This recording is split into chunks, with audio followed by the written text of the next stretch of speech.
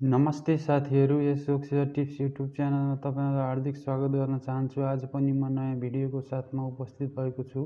यस भिडियोलाई अन्तिमसम्म हेरी यस च्यानललाई लाइक सेयर सब्सक्राइब र नजिकै रहेको बेल आइकन दबाउन नभुल्नुहोला ताकि हामीले हालेको भिडियो तपाईँलाई सबैभन्दा पहिले नोटिफिकेसन प्राप्त होस्। आज म सौर्यमण्डल सम्बन्धी महत्त्वपूर्ण प्र दसवटा प्रश्न लिएर आएको छु। अधिकृत नासु र खरिदार विशेष सामान्य ज्ञान अन्तर्गत सौर्यमण्डल सम्बन्धी महत्त्वपूर्ण दसवटा प्रश्नहरू आएको छु।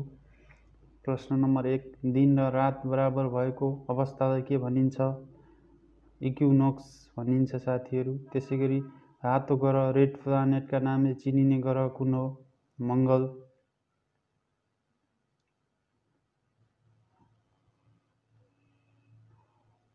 त्यसै गरी सबैभन्दा बढी ग्रहहरू हुने ग्रह कुन हो बृहस्पति गेनिमिड कुन ग्रहको उपग्रह हो? बृहस्पति।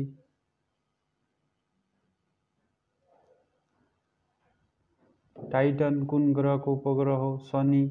हरियो ग्रहको नामले चिनिने ग्रह कुन हो? अरुण। क्षेत्र